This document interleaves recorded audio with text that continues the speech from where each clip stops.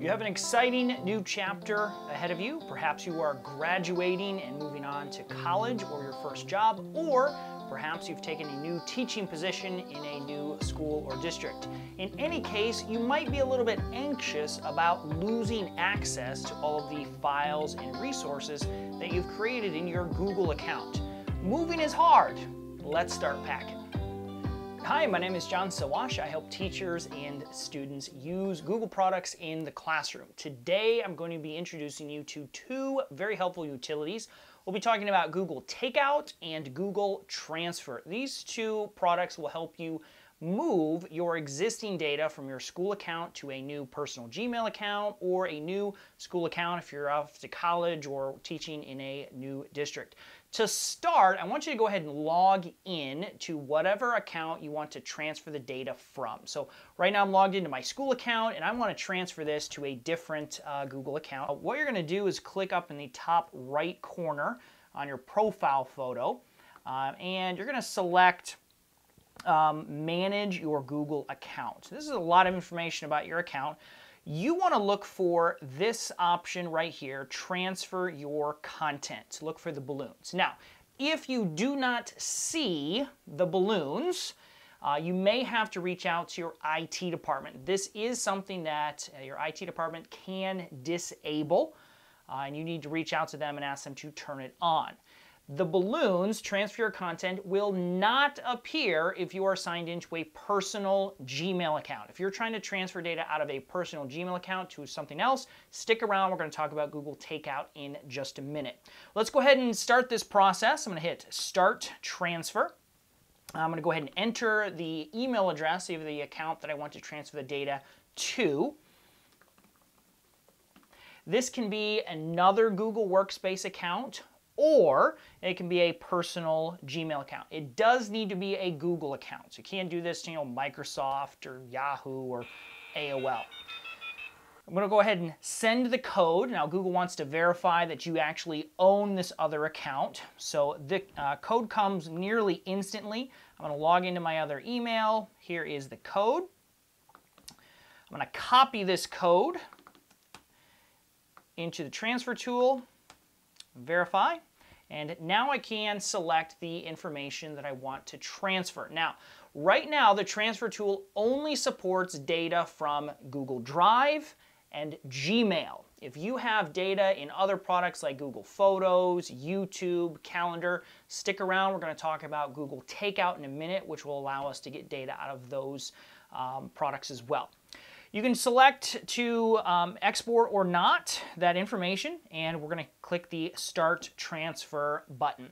Now, this can take a while. Um, it can technically take up to one week, depending on how much data you have. So it's definitely best to start this process well before you expect uh, your account to be deactivated by your school or uh, current employer. Um, it's really nice when uh, this process begins. A new folder will be created in your Google Drive account and all of the files from your Drive account will be put into that folder into the account uh, that you selected. Now a couple of quick words about what will be transferred. In Google Drive, only files that you can edit will be included in the transfer. So if you have received access to a file, but it is view only, those are not included in the transfer. Uh, it also does not include any files that are in shared drives.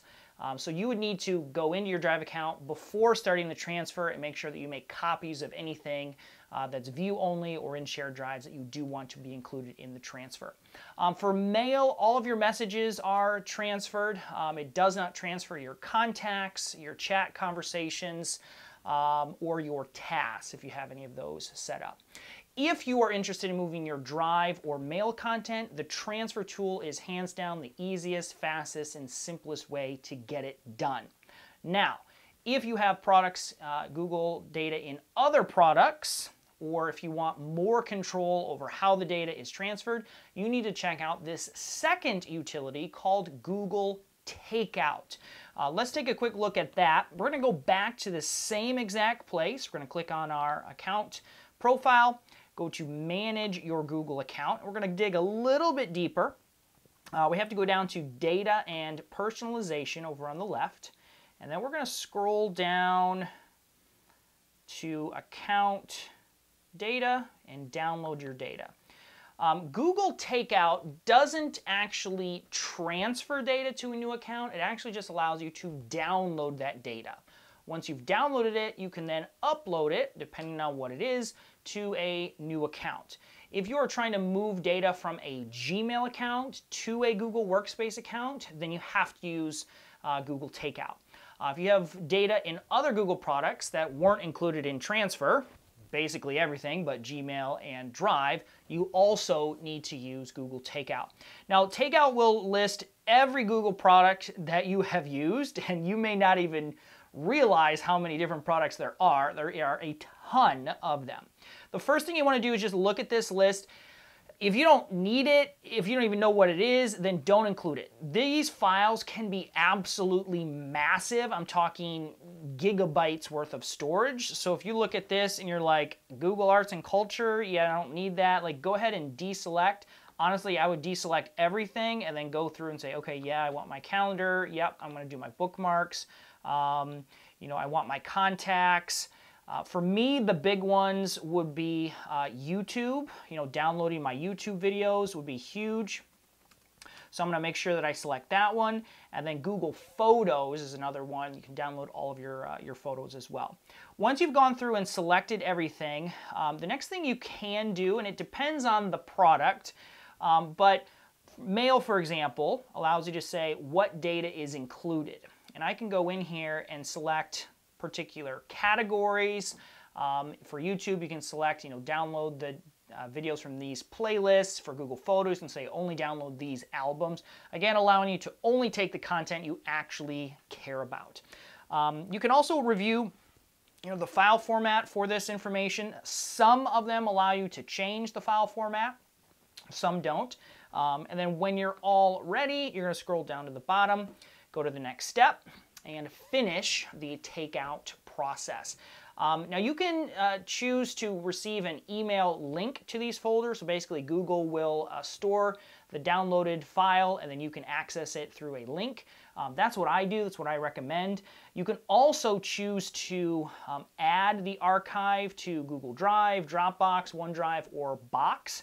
The challenge with those is that, again, these files can be quite large, so you need to make sure that you have sufficient storage capacity in your Dropbox account to contain those files once Google delivers them. Um, if you're transferring data from a Google Workspace Drive account to a personal Drive account, again, your personal Gmail doesn't have unlimited free storage, so you need to make sure that uh, you have enough space in there.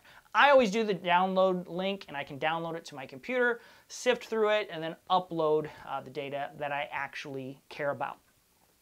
Um, you'll go down to the very uh, bottom and say create that export. And again, this process can take quite a while, several days in some instances, all based on how much information and data uh, that you have.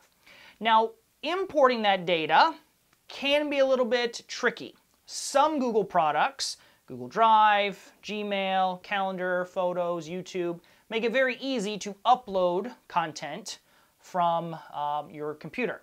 Other Google products, Google Classroom, Google Groups, Google Sites, there really isn't a way to upload the data that you have. So just keep that in mind when you're exporting these things. Not every export has an easy way to utilize that data. Now, if you are a teacher and you really want to save your Google Classroom information, if you want to move your courses and assignments from one district to another, make sure you check out the link in the description for this video. I have some specific steps on how to transfer a class from one school district uh, to another.